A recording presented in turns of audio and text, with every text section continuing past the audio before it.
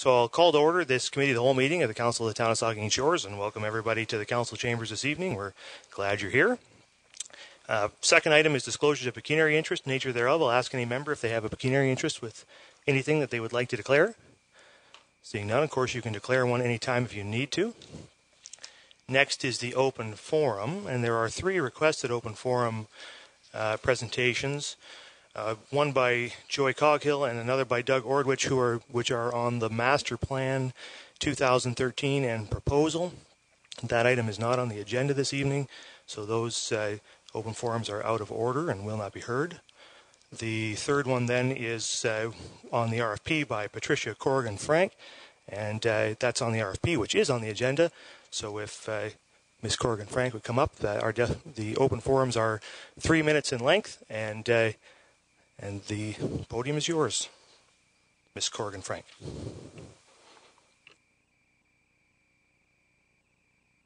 Okay, I got it. Okay, I'll get right to the point. Um, on November 12, 2018, at the Port Elgin Beach Station, it was quoted Mr. Smith said that uh, he had a, was attaching a diagram as a site for future development, and a request for proposal was, uh, was released publicly in February 2019. And this is the diagram that went with it. And in this diagram, it was very clear that it included the train station, the, the mini golf, and the accompanying maybe the flea market area. And since then, uh, the, since that diagram was provided, things have changed drastically. Um, as the RFP, in the RFP, it said it was fairly open concept. It's expected that the town, upon reviewing submission, will invite some proponents to participate in further dialogue, which may include community consultation, may include something of this major endeavor, this massive change to our beachfront. Surely it shouldn't be a matter of it may include community consultation. It absolutely should include, and that should have been a shall, not may. So here was the here was the plan, and that's the basis that people submitted these RFPs. So according to Ms. White, one was received. The appendix that went with the RFP proposal was also in keeping with this. So maybe somebody that thought that they were going to be allowed to build all along the waterfront might have submitted a proposal. And then Ms. Jagalewski in May, 2000, May 29, in her staff report, suggested then that Mr. Uh, Donini be given and authorize a memorandum of understanding for Mr. Pierre Dominini, Pierre to sign- signify the advancement of reg- negotiations for the Port Elgin waterfront. So she was suggesting that he that he be given a memorandum of understanding, and there hadn't even been a survey yet. Hadn't even been completed. Hadn't got any community input at all. Then we get in July it gets posted that we are allowed to do a survey. We're given two weeks for this community, the residents, the tourists, to have some input. Two weeks. I noticed the new plan, we've got till September 30th to comment on the new plan for the five year plan for the town. But we're given two weeks to talk about this, this big change for our beach. A question that I have that I was, I was trying to ask and we, we got cut short uh, was Ms. White said that Mr. in September 9, 2019, in responding to what Mr. Mann is going to be talking about, was that Mr. Donini's proposal is currently in stage two of the process, which includes providing detailed designs. That's uh, three minutes, Ms. Corrigan Frank, if you could wrap it up. So, have you received designs? Have you received? We haven't seen any. We've asked, we haven't seen them, and suddenly this this plan that was on his on your website for him to to show what his plans were. I filled in the details and I photocopied it. And I'd like to know what the heck is going on. This plan was taken off of his website, his plan, his slideshow that it was supposed to be presented to you on Wednesday afternoon. And suddenly it's not there anymore. And it very clearly shows the big plan that he has for that beach. You need to think really carefully. Some something funny is going on here. Why was that We're coming up on four minutes, Ms. Corrigan. Frank, And and I have thank to goodness ask you. I managed to print it off before it was removed. Thank you very much. Thank you. Okay. So that moves us on to delegations, and we have three delegations this evening. And the first one uh, is uh, uh, presentations to two uh, outstanding uh, groups of young athletes in our community. And uh, I guess we're going to bring them in. Yes, so, the, so uh, we, ha- we have the uh, Shores Mosquito Sting OBA 11 UD Ontario Baseball Champions, and we also have the Saugeen Shores Life Saving Club Junior and Senior Waterfront Champions. So maybe uh, I see Lisa back there. Maybe we can uh, bring in. Uh, we'll have bring these teams in one at a time. There are a lot of. It's a lot of people. So maybe we'll bring in the baseball team uh, first here, and uh, we'll bring them to the front. And we can uh, present them with their certificate and get a picture. They may have wandered off. We'll give them a sec.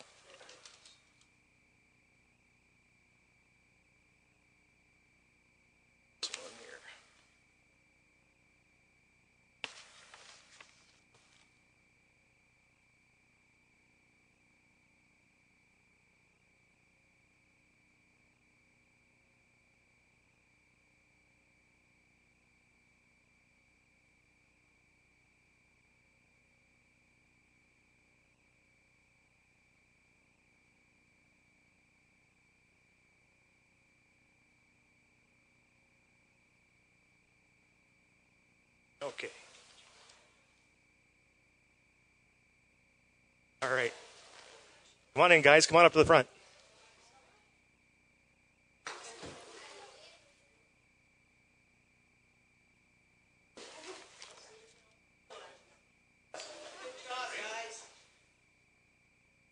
Congratulations.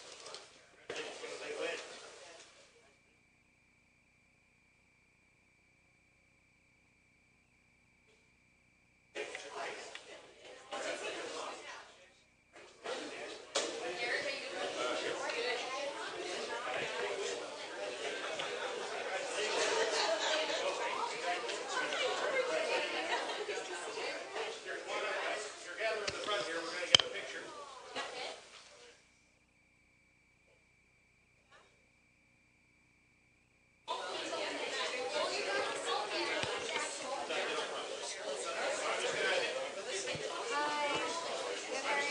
certificate here. This is presented to Saugeen Shores Mosquito Sting OBA Champions, sponsored by True North Restoration Solutions Incorporated. On behalf of the town of Saugeen Shores, in recognition of outstanding achievement for having won the 11 UD Ontario Baseball Championship. How about a big round of applause for the Sting?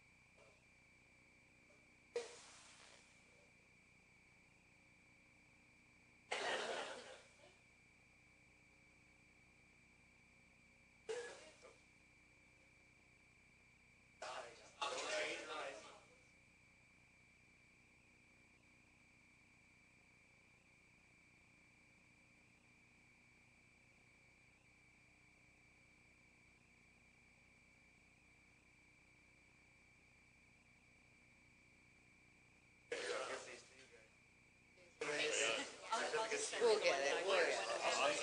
Congratulations again. Way to go, guys.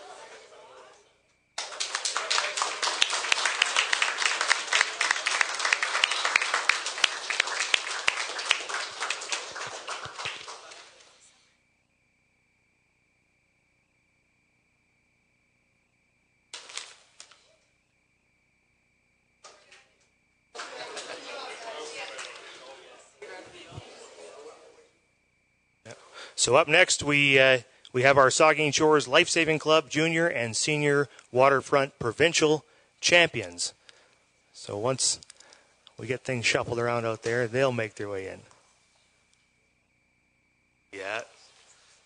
This is this is about fif- 50, 50 kids on this uh, on the life saving uh, team, so we may have to we may have to blow out a wall or something here to let them in.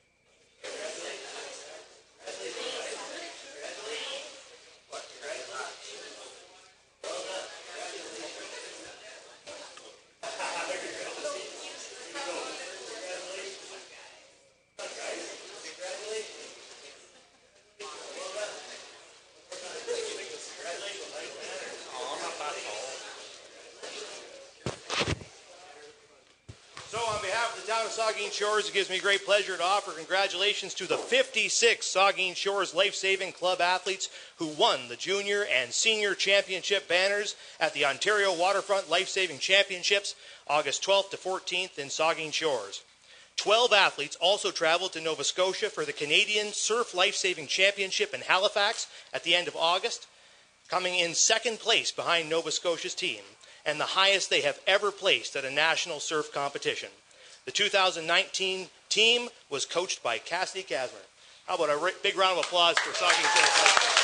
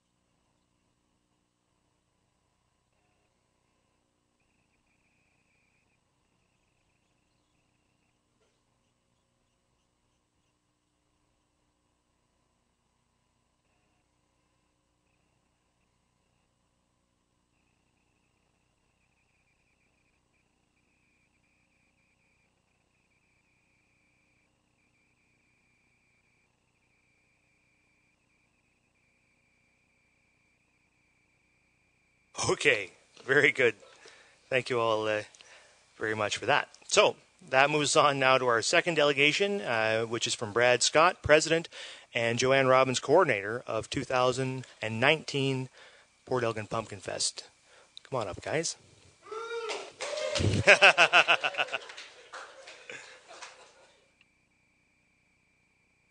Thank you, Mr. Mayor, members of council. First off, I'd like to uh, just introduce my some of my committee members over here to our left. Thank you guys for joining us this evening. I get the fun job. I get to talk about the good stuff as always, and then I'll give the boring details to Joanne because she's really good at those. Who can believe we're 25 days, 14 hours, 13 minutes, and 34 seconds, according to my website, away from Port Elgin Pumpkin Fest 2019? Uh, it's crazy, as it is every year. This will be our third year downtown for our 33rd anniversary, so it's the third year since we've moved back downtown, and it's the 25th anniversary of the Cinderella Carriage Car Show. So it's been a long time.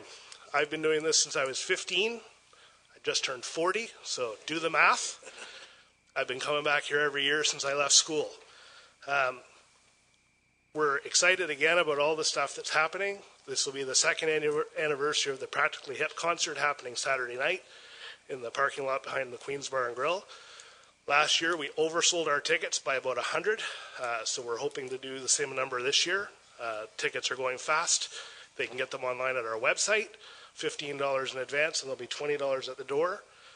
Uh, what else do we have? We've got Tim the Puppet Tamers coming back this year on the entertainment stage. We're going to have our pajama party again in the uh, in the way off at the church in the evening on Saturday night for all the little kids to come back and enjoy some some puppet time and making some crafts and popcorn and things like that. Um, the entertainment stage is going to be running all weekend again. We've got some great bands lined up for that this year, lots of local bands. I don't have all their names, but I know we've got lots of local talent coming to play. Um, what else do we have going on, Joanne? Batman. Batman will be back. Return. Batman returns. We do have our pumpkin carving going on again this year. We have our wood turners are coming back this year. Uh, this year we have inflatable bouncy castles outdoors, so the kids can play on those. We're going to try and change up our hay bale maze this year. We're going to try and go for round bales and, and make like a climbing structure of some kind out of it. Um, so we've got lots of big stuff in store. We're hoping, rumors are out there, we're going to break 2,000 pounds this year in a pumpkin. Last year we hit 1,959 pounds, so we're not far off. The, uh, the rumors are out there, they're coming and they're going to come here. So we're very excited to see it. With that, I'll hand off to Joanne to go over some of the details. Good evening, council, media, public, and friends. Um, in your package for your approval, the boring stuff, uh, are the road closures and bylaws, track, traffic flow maps. Um, those uh, have not changed since last year. Um, I've just come from um, my meeting with uh, police and police auxiliary. They will once again do our security for us so we can donate to their good cause um, and uh, help out the auxiliary. Um, there's also a detailed assistance uh, report there. I've gone over this with the town, and I, I have to say the town staff and managers probably are more knowledgeable in this than I am at this point. Um, they tell me when I've missed something, so they're, they're, wonderful to work with. They believe in the event, and uh, without them, of course, it couldn't happen. Or it wouldn't be near as safe because I'd be out there at midnight putting up signs. So, um, uh, I also wanted to, inside your package, you of course have a seed to practice. It would be lovely to bring the Silver Seed Award home. Um, uh, Al Barfoot is still holding it. so uh, certainly practice with your seed. Join us at the opening ceremonies, uh, 10 a.m. Um, at the Missionary Church. And uh, I've also invited Mike, um, our police chief. So now between Ben and uh, Dave and Mike, we maybe have some height uh, some good airflow with the height. We can always hope. You you were second twice, so anyway, Mike is invited, and I'm I'm not sure what the answer was, but uh, we can all bug him to, to please show up. Um, something else I wanted to bring up is uh, the unsung heroes. Um, and I'll be talking more about this in my radio interviews and things through the week. There's people that we it's great when we get the new sponsor. Wendy's is on board. They're gonna they're gonna sponsor pumpkin carving, you know, and Kinectrics is gonna sponsor. You know, all these new businesses are helping us out. Everybody's on board, but we forget people like uh, the Carsons, who have uh, for years and years supplied the forklift drivers, brought the forklifts, lifted those pumpkins, and for no real acknowledgement at all. The same for our judges, uh, the people that are behind the scenes doing all that work year after year. So I will speak more to that uh, throughout the coming weeks. Um, and I encourage everybody to go to pumpkinfest.org and look at our sponsor page and thank those people because without them we could not do it. So I think that's all I had. And questions or Sure. Well, we'll ask members of the committee. Are there any questions, uh, for either Brad or uh, Joanne? I'll just uh, say uh, thanks once again to uh, you guys and to your entire team at uh, Pumpkin Fest for uh, putting the event on uh, again this year. It's always a huge success. Rain or shine, it's a big success, and it's going to shine, so it's going to be a huge success. I know, and we're going to get some very large pumpkins. I've always I uh, I always work on weighing pumpkins every year, and I'm always looking forward to being the guy to weigh the world record. That's what I I don't know. That's my great dream in life. One of my many great dreams in life, and that. But uh, um, yeah, it's a great event, uh, and I just encourage everybody in town to go to it and volunteer for it. Are there, is there? I assume there's still a need for volunteers. Absolutely, and uh, it should be up tomorrow. We've we've got uh, a new fancy online way to volunteer as well as the sheets are still out at the high school, so we'll do both, and you'll get an email and you'll get a reminder of when you should be there. So, So they go- so we're, we're practicing with some new newfangled things. They go to the Pumpkin Fest website. Then, if Yes. some people are interested in volunteering, just pump, what is Just it? go to Fest- volunteers, and it'll be there. pumpkinfest.org. Is that right? Yeah. All right. So, uh, so yeah, make sure to volunteer if you have the time. But whatever you do, get there, and it's going to be a great event. So, thank you guys And very I'm much. hoping council will once again help us at the 50-50 table. Oh, very good. We'll definitely be spit, spitting seeds. I'm sure everybody is all set to spit seeds, right? Yep. Looks like it. Looks like it. all right. Thanks very much, guys. All right. That moves on then to uh, our final delegation, which is from John Mann. Mr. Mann.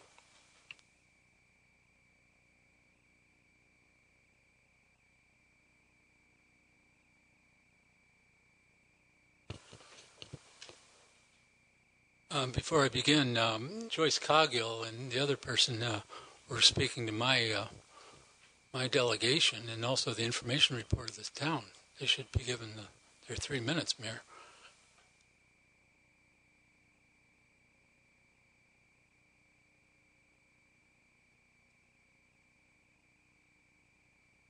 The uh, Danini uh, request for proposal uh, is way beyond the request for proposal documents that uh, he was given.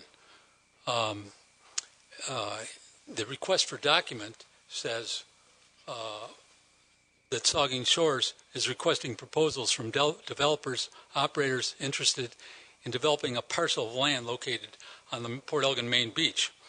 Page four, the description is agreeing to a minimum 10 year lease with optional 10 year extensions the successful partner will refurbish and modernize the look and function of the existing station building or build new at their expense. So that was the entire uh, request for a proposal. And then you had this uh, wonderful uh, diagram of it with red line around just the station and the mini golf, nothing else. And uh, uh, and your Schedule A in the meeting for Wednesday uh, has just the station, train station, and mini golf as Schedule A for the memorandum of, understanding. That was drafted in May 27, 2019. So it is still the only thing this council is approving at this time. And um, I was just given this uh, a few minutes ago um, a diagram of the uh, village that uh, Mr. Danini has provided. Well, uh, the uh, station and mini golf are just a minor, very minor part of this whole village. You weren't asking for a proposal for a, a village. You were asking for one building, one, and the building was the station. He could refurbish it or he could knock it down and do it new. You have an obligation, a fiduciary duty and obligation to all citizens of this town to retender this. And uh, if it's going to be for the whole beach, the entire beach, like this delegate, uh, like this proposal is, you've got to retender it. And uh, uh I don't know if any, you know, uh, the financial people would certainly want to know it was tendered properly, and any uh, future problems. Insurance and everything else, they want to know it's done properly. This was not done properly. Um, and um, uh, and then we have the bids and tenders. Um, you have a website for bids and tenders. Well, I uh, I don't know how to do it, but my bride, Ms. Ashby, knows how, and we've been following it ever since. But the bids uh, submitted uh, should have been submitted by March 12, 2019, and uh, as of uh, September 4, 2019, the uh, website of the town said no bids, no bid submitted. How is that possible? This is the most important thing that's ever happened in uh, Shores. So when it was brought to the attention at the public meeting on on September 3rd, nothing was done on September 4. But on September 5, after I did my delegation and filed it, uh, then the town uh, uh, started looking at it and, and now put uh, bid submitted. Oh, Pierre Danini shows up. Amazing. Uh, so now a bid is done. Um, but uh, I got an email from the town, uh, and, the t- and the email from the town says, um, Mr. Denny's pro- proposal was received by the deadline and deemed a compliant proposal. The proposal was received at 12 noon on March 12th. The proposal was opened by two staff members during a public opening during a public opening held at 2 p.m. on March 12 in the council chambers. The bids and tenders website of Saugeen Shores says public opening, no. Now that had to be done after March 12. No had to be put in there after March 12. No is not correct if he submitted this on March 12. And how do I know that? Because I've got another proposal of the uh, regarding the uh, delegation of uh, the Coliseum in Southampton, where it said, yes, it, there was a public opening. And it was a retender because the uh, tender had been altered. This uh, hasn't been altered yet, so it still relates to the uh, station and the mini golf. Uh, so it absolutely, um, there's something, something wrong here. Whoever put no in there had to know it was yes or no. And by putting it no, that's what I'm, I'm going to live with. And uh, we have to rely on this. And then they show me a disclaimer. They, they point me to a disclaimer. And the disclaimer says, hey, if, um, um, if you are dissatisfied with any portion of this website or with any of these uh, terms of use, your sole and exclusive remedy is to discontinue using this website. Well, hell, I am uh, very disappointed with it. And social media, I don't know anything about, but Ms. Ashby does, and and she gets it for me. But uh, uh, to say that uh, social media is the way to, citizens can get information, and you just say, "Hey, too bad, citizens," uh, you know, good luck, is just an atrocity. And I went and said, "Well, give me the file." I went there the fifth. Give me the file. Oh, we don't keep a file anymore. You don't even keep a computer file on this. I can't look at anything. Um, and this is the greatest thing. Welcome to the town of Saugeen Shores bid opportunities website. And the and the um, note there is only documents found on Saugeen Shores website are to be considered quote official end quote. The town of Saugeen Shores accepts no responsibility for the accuracy of information found on other websites. The onus is on the bidder to check this site to verify they have received all relevant bid information. And on, the, on our website, the, uh, the Saugeen Shores website, hey, good luck. We don't know if it's good or not. And you require the participants to rely on it. So uh, our CAO, his only response to my point that this needs a new tender is he says, well, there's a provision in the RFP saying, as indicated, quote, as indicated above, if a new building is desired, the location could be moved to be closer to the water and the existing parking is moved closer to the street. Well, that's called an existing building. That's the station. That's what you're referring to. The train station. If a new uh, building is desired, then it can move a little closer to the water. But the station is gone because you didn't refurbish it. That's the RFP. And it's not this grand village that you're talking about. Just craziness. So you've got to retender it. But can you retender? No, because this council and this uh, mayor have decided the only thing we're concerned about is that damn train station. And we want a, a, a restaurant and bar. But instead, Danini, uh, you're privatizing the beach, and thank God for Danini for privatizing the beach, you say, because it wasn't your idea. We elected you people to run our beach. It's a public beach. Now it's privatized, and Danini's running the show. He says, We're going to have a, a hall here, a, a rink here, a, a boutique uh, uh, uh, um, stores, and, and, and a big restaurant, and a town square. And, and, and, this, and this thing, um, well, Miss Frank showed it before, uh, shows this huge extravaganza that was not shown at the public meeting and was deleted, as I understand it, today. Uh, unbelievable. Uh, this deserves a, a, a public inquiry, a judicial inquiry, to something that really stinks. And you've got to retender because corruption is the big thing here. Is it a good, a good old boys club, or do you have a, a, a Mr. fair? Mann, I'd ask you not to impugn the integrity of members of the administration. I'd I'm- ask I'm you, just- not- I'm I'd just ask you saying not generally, to. that's why I'd ask you not to make accusations like corruption, not- Mr. I'm, Mann. I'm, I'm saying that's why the purpose of a retender is required, because you want to avoid that. I'm not saying people did it. I'm saying you want to avoid that. Um, and um, uh, the other uh, point is, um, oh, the 50 years. All, of a sudden, from 10 years, we're going to do a 50 year. Well, no one bid on that a, a lot of people might want to bid on 50 years and, and a, a, a village rather than bidding on a train station that is most certainly going to litigation because this proposal, RFP, was supposed to be awarded April 8, 2019. April 9, it wasn't awarded by then, but April 9, 2019, you were uh, you sent a lawyer through uh, a, a letter through your lawyers to Andy Hess, the train guy, saying get out of town because you can't accept what's been re- uh, the RFP that's been presented, and so uh, obviously there's some uh, uh, the train station's still there. So you're looking at litigation for that. So that's why 22 people that asked for the package probably said, uh, it looks too iffy. But if you have this grand scale uh, uh, village, hey, I It's might uh, want to 10 get minutes, Mr. Mann. I'd ask you to wrap it up, please. So I am. Uh, hold on a second.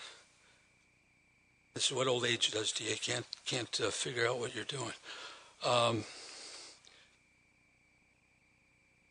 but I, I emphasize the CAO only mentions moving the the one building, one building closer to the water.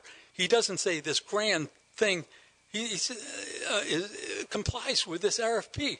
It doesn't comply, so he doesn't have any answer for anything that I've said tonight, and it's on the information report uh, uh, uh, today.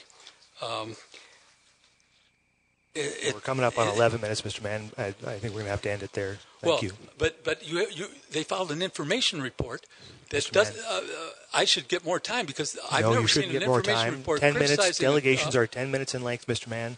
I And so understand that, your delegation information report- is over. Thank you, Mr. Mann. Thank you, Mr. Mann.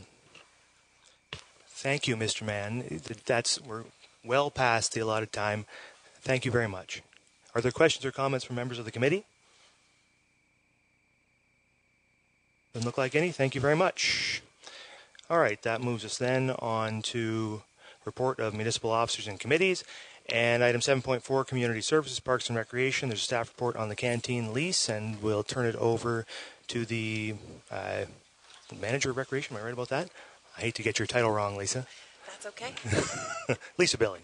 Lisa. Okay, thank you, Mr. Mayor. Through you, uh, staff were notified in July 2019 that the previous operators of the canteens at the Plex and Coliseum uh, would not be renewing their agreement. Uh, at that time, a request for proposal was issued, and there, we had two bid takers and one submitted bid. Tonight's recommendation for a one-year agreement will allow the proposed operators to assess operations, test new offerings and specials, and gain an understanding of the needs of the user groups as well as the public.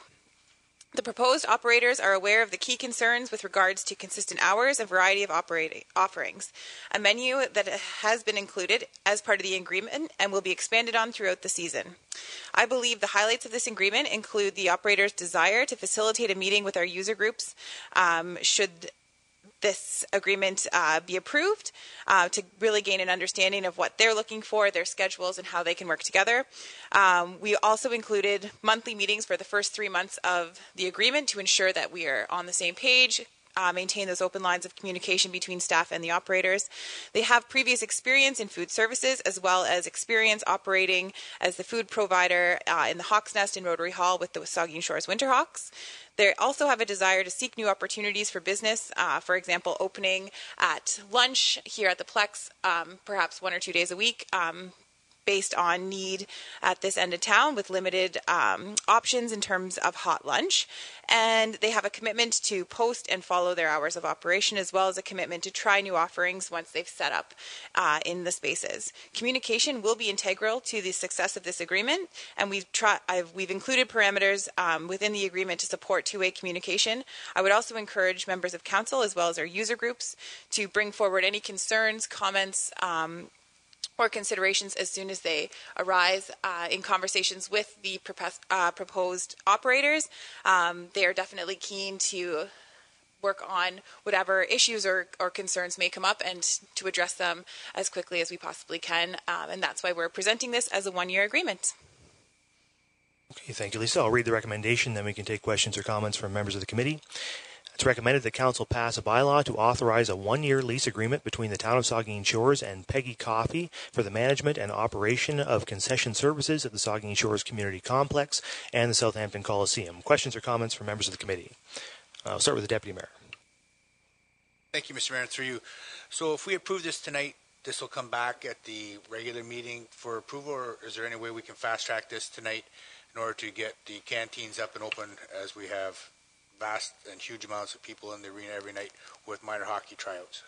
I mean, uh, the staff can comment as to whether that's uh, will move up, but certainly council has the ability, if we if the recommendation passes, uh, when we come around to regular council, uh, council can introduce the recommendation uh, as an amendment. Uh, to the regular council agenda and has the authority to amend its agenda and pass this in regular council. I don't know. Is there comments from staff as to whether that's an advisable thing for council to do? I, in our conversations that we've had, I think they'd rather us wait. Um, if it's a wish, we can certainly speak to them, but we to time limits in right now would make that challenging. Comments from members? Uh, Councilor Grace. Thank you, Mr. Mayor. Um, Lisa, I just have a couple of questions. Um, so, what is going to be the policy on people bringing in their own food and drink into the facilities? So we have no, uh, through you, Mr. Mayor, we have no formal policy that prohibits uh, people bringing in their own food and drink. We would expect that um, with uh, consistent operations and the enhanced communications that we're anticipating with this agreement, uh, that the community would be able to support the canteen services because they understand that they, when they're here, when they're open, and what they can anticipate. Okay, thank you. And um, Clause 43 talks about uh, oil waste disposal being the sole responsibility of the operator. Um, has staff offered guidance to the proposed operators to make sure they know how to do this correctly? Uh, we have not offered guidance, uh, but we have made the operators aware of that clause, and we anticipate with their um, experience in the food industry that that would be handled in a safe and proper manner. Further comments? The Vice Deputy Mayor.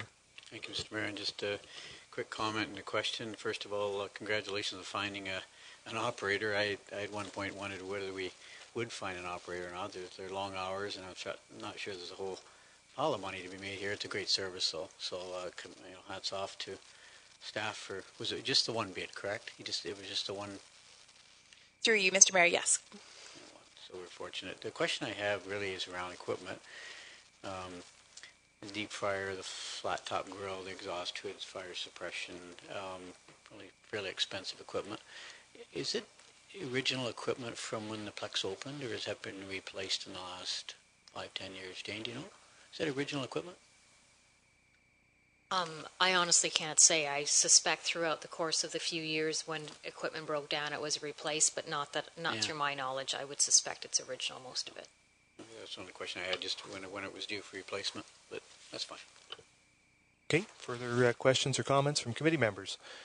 Just uh, this is an excellent uh, news story. It's a great opportunity to. Uh, it's great to have somebody operate these uh, facilities because we need them to operate. I think that's a, a benefit to the Plex and the Coliseum, and it's also a smart way to organize it on the one-year trial basis, uh, both for us and for them, to see whether that's something that'll work uh, for both parties. So it's. I think it's a great agreement, and just well done to to staff for making it happen.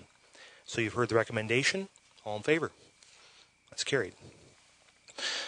All right, that moves us on then to communications petitions, and there's two communications there. Are there any? anybody want to make any comments to either of those? I don't see any. Uh, there's the report of the department heads and one information report. I don't know, David, do you have any comments? Okay, uh, I'll the just com- yeah, I'll just comment, Mr. Mayor, that, that the clerk, uh, in response to, to uh, some comments that Mr. Mann had made uh, at the public meeting, uh, prepared the report. Um, I think it, it addresses the issues um, uh, that have been outlined in a uh, clear way, that the expectations of the RFP um, did allow for the uh, proposal as, as uh, uh, submitted. Thank you. Any questions with regard to that? Seeing none, uh, then that brings us to the end of the agenda, and I guess we can uh, have announcements by members, and we can start with the deputy mayor. Thank you, Mr. Mayor. Through you, um, it is sadness, with sadness, that I announce the passing of longtime doctor from Southampton, Dr. Mercer. He passed away on the weekend. Um, thoughts go out to the family. I grew up with his son. Dr. Mercer was my family physician and delivered me, so he was a mainstay in Southampton for many, many years. Thank you for that. The vice deputy mayor? Vice deputy mayor? Nothing? Nothing this evening. Thank Okay. Uh, Councilor Shrider? Uh, thank you. Just uh, two things. Just congrats to the uh, ladies and men's slow pitch leagues. Uh, they both hosted their playoff weekend um, in from August 20th to the 25th at our Ball Diamonds here. Um, they've they've extended past a playoff weekend because we have a need for Ball Diamonds uh, and because we have uh, so many teams and players in both leagues. So uh, Mc- McKay, uh, and also Connor Yurth. I know that they they put a lot of effort into that, and it was a very successful weekend. Um, and that's all for tonight. Thank you. Councilor Smith? Yes, I would just like to take a moment to congratulate Dr. Don McCullough, who celebrated his retirement yesterday after an elaborate 40 year career in the medical profession. Uh, he will certainly be greatly missed as a physician. Uh, we wish him well in his retirement. Uh, I, I had a chance to stop by, and it was a very well attended uh, celebration yesterday that I'm, I'm sure he enjoyed every moment of. Uh, also, if I could just take a moment, uh, if you haven't heard already, we as a community are uh, working through nominations for Kraft Heinz Project Play. We've received to date 246 nominations, which, albeit phenomenal, uh, with a thousand baseball players in our community, I know we can do better. Uh, we've set a goal of 500, and I'm hopeful that we can reach it by this weekend. So I challenge you to speak to five friends, family members today about submitting a nomination. Thank you. Very good. Councilor Grace? I have nothing this evening, thanks. Councilor Carr? Councilor Mayette?